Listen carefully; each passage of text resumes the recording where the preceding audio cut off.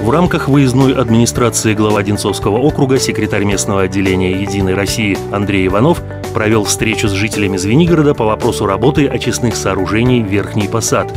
Горожане неоднократно выступали с обращениями по поводу стойкого запаха нечистот в самом Звенигороде и его окрестностях. По мнению Андрея Иванова, кардинально изменит ситуацию только масштабная реконструкция. В течение года планируется выполнить проектирование и провести экспертизу, затем приступить к модернизации. Также глава округа проверил ход капитального ремонта Введенской школы в Звенигороде. Этот объект был включен в перечень предвыборной кампании – в рамках реализации президентского проекта образования на реконструкцию объекта выделено 180 миллионов рублей. Сейчас на объекте задействовано более 100 человек.